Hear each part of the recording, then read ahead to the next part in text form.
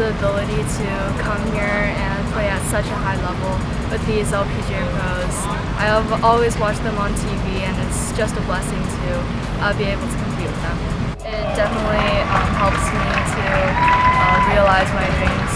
From a young age, my coach made me play the JDT Tour and I played three events, passed, and then went on to the SCPGA uh, Players Tour.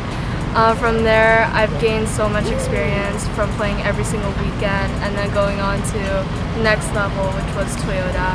And um, I've met so many great players at Toyota. They're all at a high level and have the capabilities of playing uh, events like these. So it's truly amazing. Ultimately becoming an LPGA pro and um, first of all I would like to thank college